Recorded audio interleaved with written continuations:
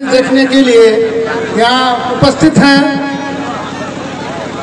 मैं खासकर in cricket के प्लेयरों से मैं ये कहूँगा कि आप लोग मैच खेलते हैं तो इसमें आप लोगों का एक डिसिप्लिन का होना बहुत ज़रूरी है। आप लोग, आप लोगों के बीच का ही कोई इंपायर बनता है और आप लोग उसको नज़रअंदाज करते हैं। आपको मालूम होना चाहिए कि इंपायर आपका जज है। अगर वो जजमेंट जो भी देता है तो आपको सर्वसम्मति से इसको मान्य होना चाहिए।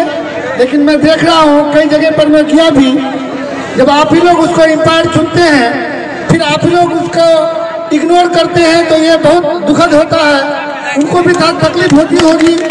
तो इसलिए आप लोग इस बात का ख्याल रखें। और क्रिकेट चाहे जो भी मैच हो, उसमें अनुशासन ज़रूरी है डिसिप्लिन ज़रूरी है।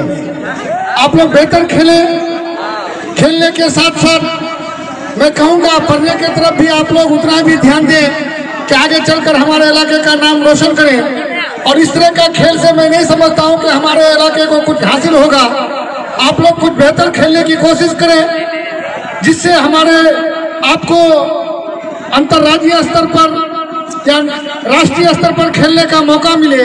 इस खेल से ना आप राज्य स्तर पर खेल सकते हैं, ना राष्ट्रीय स्तर पर खेल सकते हैं। बल्कि आप जो आपके अंदर जो प्रतिभा है, वो भी समाप्त हो जाएगा धीरे धीरे मैं समझ रहा हूँ कि जब भी आप टूर्नामेंट करें, जो हमारे यहाँ के जो रूल्स और रेगुलेशन है क्रिकेट के, उस आधार पर खेले। चाहे ट्वेंटी ट्वेंटी खेले, या जो आप फुल डे का जो टूर्नामेंट होता है, वो खेले, वो बेहतर रहेगा। मैं समझता हूँ इस चीज़ का ख्याल रखेंगे और ये ठंड के मौसम में इस तरह का खेल का आयोजन ना करें कि आप जो क्रिकेट प्रेमी है, उसका वो अपने आप को रोक नहीं पाते हैं। और ऐसी स्थिति में मैं समझता हूँ काफ़ी लोग अभी मौसम भी मौसम भी अपना मिजाज बदल रहा है।